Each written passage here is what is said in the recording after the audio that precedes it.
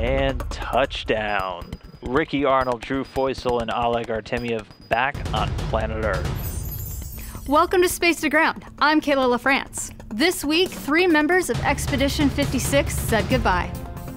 Cosmonaut Oleg Artemyev and NASA astronauts Drew Feustel and Ricky Arnold completed a 197 day mission spanning over 3,000 orbits of Earth and a journey of 83 million miles.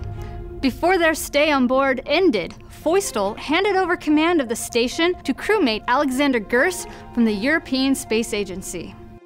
Best of luck to you and your crew during your command of Expedition 57. May it prove to be both interesting and positively exciting.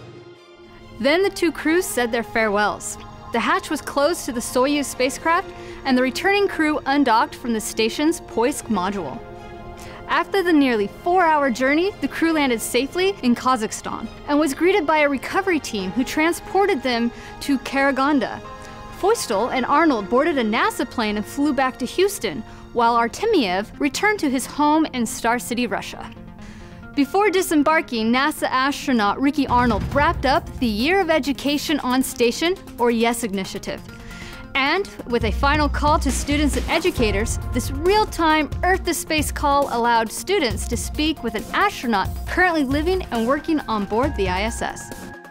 Yeah, this, the science we do up here on the International Space Station has two purposes. It's uh, to improve life on Earth and for students sitting in classrooms, we're laying the groundwork for your exploration uh, of the solar system, human exploration of the solar system. Over the last year, YES enabled thousands of students and educators across the United States to speak directly with the crew in space. In addition, astronauts filmed new educational demonstrations, which will remain available to classrooms coast to coast. Check these out and see how you can continue to link up your classroom with the space station at nasa.gov slash STEMOnStation. Keep sending in your questions using the hashtag SpaceToGround. We'll see you next week.